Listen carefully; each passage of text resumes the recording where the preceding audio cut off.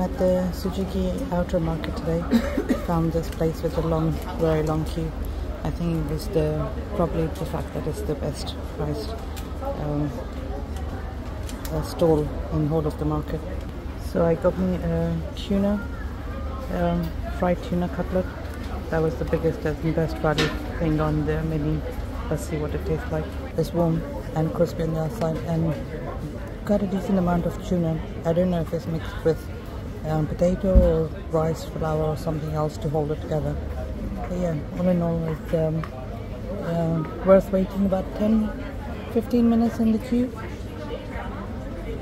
The next place I stopped to have the smallest piece of um, sushi, sashimi, and um, I just wanted to say that I've eaten sashimi at the Tsujiki market.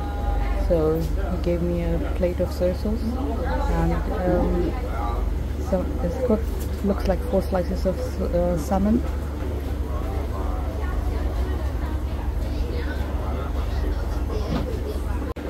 Really, really fresh salmon. Really worth trying this to get a taste of the market.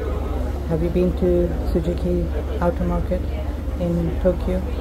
What did you get up to? What did you try? Did you spend a lot of money on sushi in Kobe? There's a uh, stall of Kobe here as well. So if you like the video, like, subscribe, all that good stuff. And I'll see you next time for travel and review videos. Bye.